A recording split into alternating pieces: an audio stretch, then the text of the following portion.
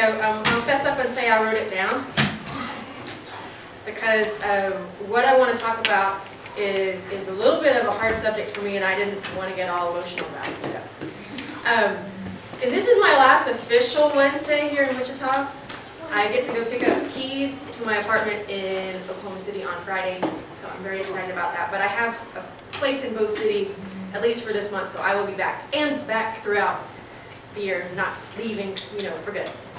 Um, and before I start to share with you what I wrote down, I want to say thank you to the group, um, Shannon West especially, for creating it.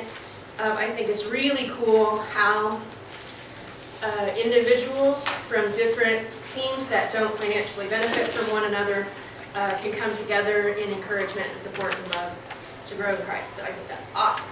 Amen. Okay. I want to share a scripture from Jeremiah 31. I got this this morning when I woke up. I think that's really cool because I've been asking, okay, God, what am I supposed to talk about? Um, and when I woke up, there was a phrase in my head from this. So Jeremiah 31, 3 and 4. The Lord appeared to us in the past, saying, I have loved you with an everlasting love. I have drawn you with loving kindness. I will build you up again, and you will be rebuilt, O Virgin Israel. Again you will take up your tambourines and go out to dance with the joyful. I believe God has a special purpose inside each one of us. We are all unique and wonderful and called to something greater than our question is, are we going to listen for and step into his dream for us? At five years old, my friend Joshua Williams, who lives in Miami, Florida, he's now 12, he knew that his purpose in life was to feed the hungry. And so, um, with the help of his mother, he created Joshua's Heart Foundation five years ago. And most of us, we go through our entire life and we never really do figure out what our purpose is, but he knew at age five. I think that's really cool. So sometimes, um, being who we are called to be is not easy, but we've got to do it anyway. I hear God telling me that He has made me to be a fearless encourager and to use my voice and my actions to inspire others. Trying to be that positive person while surrounded by negativity and criticism. Well, it just doesn't work. Some of you know what I'm talking about. There's not room for both fear and faith to coexist in the same space.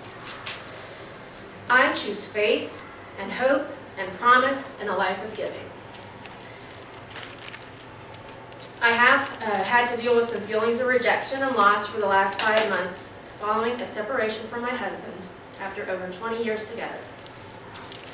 I've experienced feelings of grief, grief for the loss of a relationship that was real, and grief over the, the death of a dream that I had to be married forever. And it has been hard on our daughters too.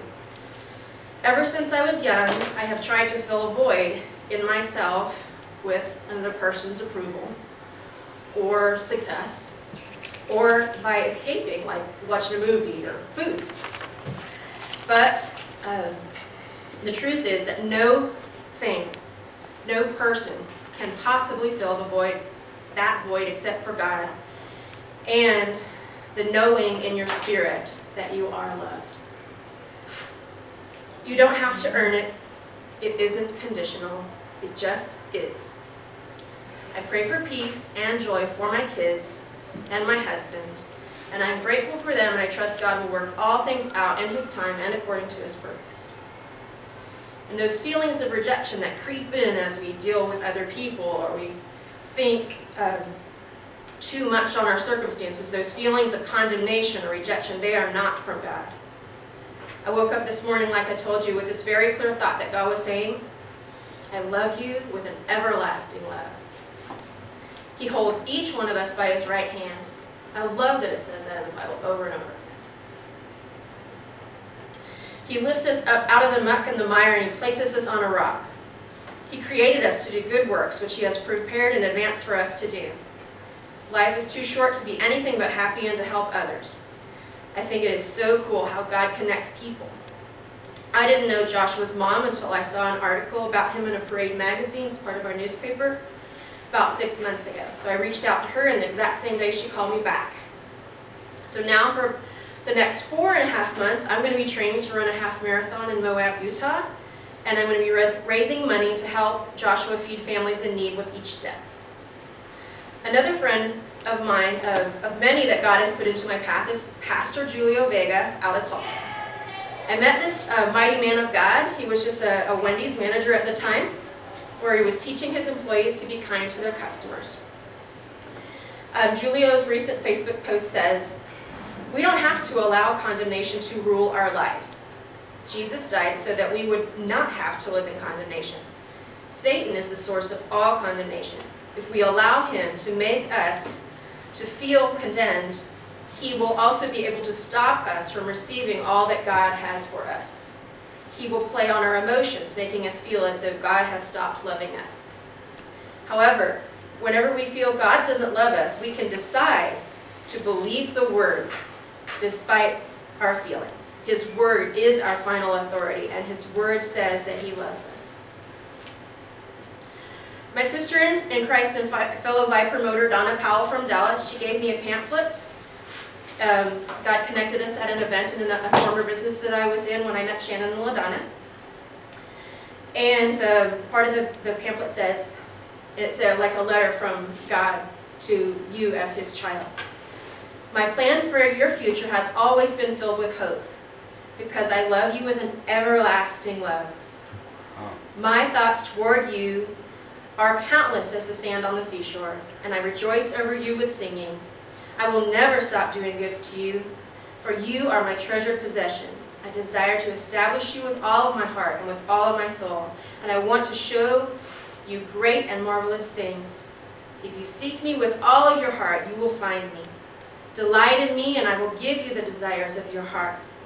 For it is I who gave you those desires. I am able to do far more than you could possibly imagine, for I am your greatest encourager. I am also the Father who comforts you in all of your troubles.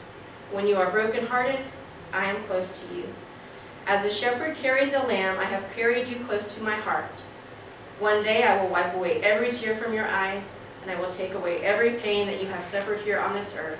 I am your Father, and I love you even as I love my Son. So lift up your eyes, know that you are loved, know that life is good, and that He is working all things together for His purpose and for yours.